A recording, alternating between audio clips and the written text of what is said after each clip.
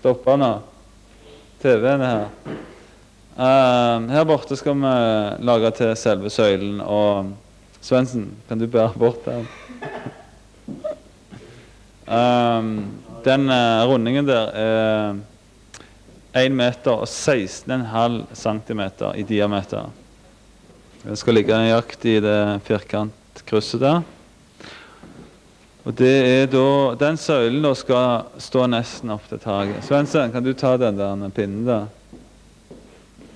Uh, nå skal Svendsen demonstrere hvor høy denne søylen blir. da. Uh, vi har tre sånne søyler, og uh, vi vil ha fire platåer oppover der vi plasserer inn TV-kameraene. TV-kameraene vil Det blir tolv kamera. Og uh, det blir tre uh, monitorer til hver film. Sånn at du, du, du, kan da gå rundt søylen og se på de forskjellige. Og så vil det da i tillegg være tre telefoner som er lina opp her. Og når du tar av en telefon, så hører du ett lydspor til en av filmene. Og da, teoretisk så trenger du da fire timer på å komme gjennom utstillingen. Og Det har jeg for så vidt konkludert med at det er det ingen som gjør. Det har ikke folk tid til nå om dagen. De burde gjort det, for det er bare godbiter. Men uh, ja. Det er stort sett søylen. Søylen skal da oppå der ha et tak. Sånn at hvis det begynner å regne, så drypper du på sidene. Uh, I tillegg så bak oss her Der så du kanskje kunne vært med her Her skal vi da ha en uh, svær uh, Et svært uh, filmlerret. Og så skal vi vise film med en sånn videoprosjektor, sånn at du kan sitte her i salen og se på TV på et stort lerret. Og innimellom der så skal det da òg komme en del direkteoverføringer fra uh, Sola, annet, og inn her. Ja, jeg tror mm.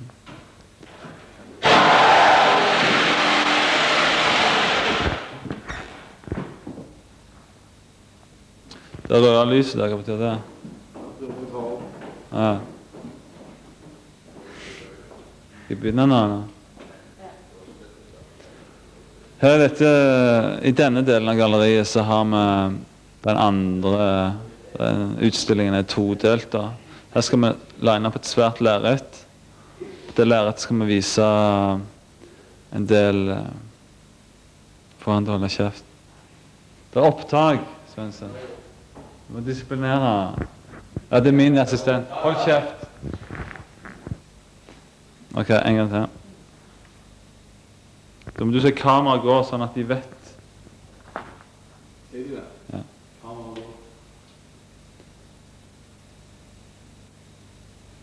Eh, I denne delen av lokalet så skal vi ha et svært eh, filmlerret som vi skal prosjektere TV-bilder på. Uh, vi skal koble oss til det kabelnettet som er her i byen, og vi kan velge mellom ja, ca. 50 forskjellige TV-stasjoner. Så kan vi sitte og se på det på lerretet. En av disse stasjonene vil hver dag klokka fire være Eksil-TV-kanalen. Og da vil vi vise produksjoner som er gjort av meg og Svendsen, assistenten min. Og um, de vil da bli direkteoverført fra Jæren og inn her på lerretet. Det er egentlig den På en måte en sånn hoveddel av utstillingen, da, dette her. Og um, du blir anledning for publikum da å sitte og se på dette her. Komme opp her og se på kabel-TV.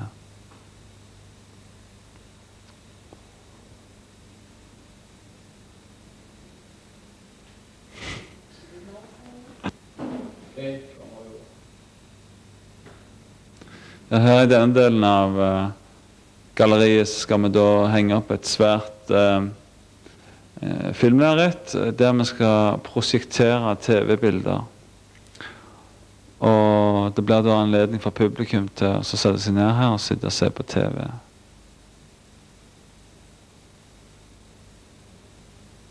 Ja. Så nå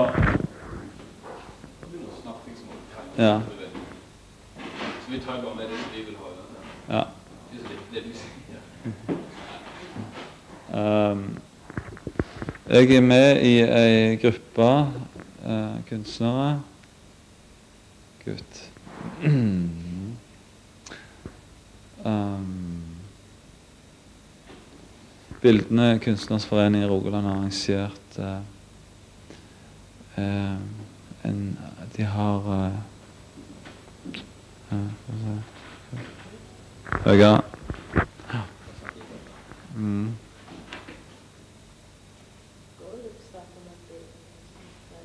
skjer innspilling, Mm, rekke med mm. Ja. Bildende Kunstners Forening i Rogaland har hyra meg til å lage en utstilling her oppe på galleriet. Samtidig som jeg skal filme en del andre prosjekter eh, som foregår på Jæren. Eh, alt dette her er i forbindelse med årets Spekulum. Eh, på Jæren er det tre forskjellige kunstnergrupper som har lagd eh, installasjoner i forbindelse med eh, krigsmonumenter eller ruiner fra krigen. De har da eh, tatt utgangspunkt i disse ruinene og eh, lagd noe mer ut av det. Denne prosessen her har vi fulgt eh, med videokamera.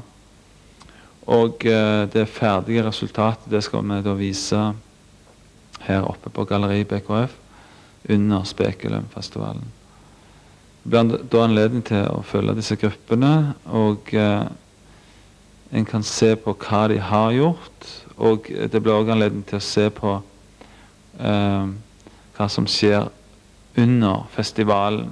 Og da har vi da tenkt å eh, direktesende en del av eh, disse installasjonene opp her på galleriet.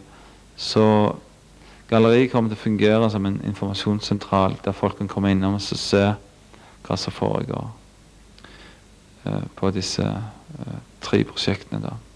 I tillegg så kommer det til å være en teatergruppe som skal spille uh, fire forestillinger her. Og uh, de kommer til å ta i bruk uh, det rommet sånn som jeg setter det opp. Og um, det bygger på det samme temaet som resten av Spekulumfestivalen, nemlig eksil. Så hvis dere har lyst til å få med dere en spennende videofilm, så er det bare å ta turen oppom galleriet her oppe på Nytorget. Yes. Så det ble litt langt òg, jeg. Første gang. Så Ja, det kan vi gjøre. Om ja. Jeg ser. Eh, ja, altså Jeg er med i en gruppe kunstnere som skal være med under årets Spekulum. Og vi skal foreta en del um, videodokumentasjon. Vi skal filme kunstnere som jobber på Jæren. Og uh, uh, Faen, kom jeg. Det ble for kjapt. Dårlig start. Ta det en gang til.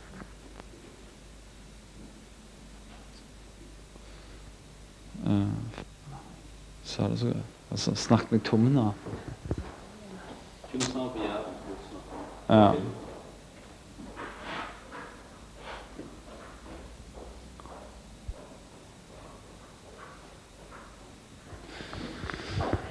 Jeg som sammen med fire andre kunstnergrupper hyra inn til BKF sitt bidrag til årets Spekulumfestival, som skal foregå i mai. Uh, det er fire kunstnergrupper som uh, eh, arbeider nede på Jæren og lager installasjoner i forbindelse med sånne krigsmonumenter. Denne, det arbeidet de gjør, det har meg og en som heter Tor Helge Svendsen filma. Og eh, det ferdige resultatet det skal vi stille ut her oppe på Galleri BKF. Og eh, det blir da muligheter for oss å se hvordan disse kunstnerne jobba, og fram til det ferdige resultatet. Eh, I tillegg skal vi vise en del um, Vi skal direkte overføre en del av disse prosjektene sånn som de er altså under selve festivalen. Og det blir anledning da for folk å sitte og se på dette her på stort lerret.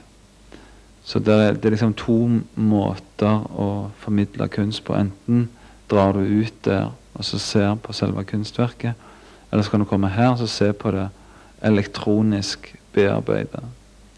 Og eh, begge tingene kan vel egentlig være like interessante. Så dette er ganske sånn eh, spennende ting som foregår. Og det har aldri blitt gjort før, faktisk. Dette her med direkteoverføring av kunst. De har direkteoverføring av fotballkamper, men ikke av kunst. Så hvis du har lyst til å få med deg det, så kan du ta en tur opp på BKF på Nytorget fra den 9. til den 16. mai.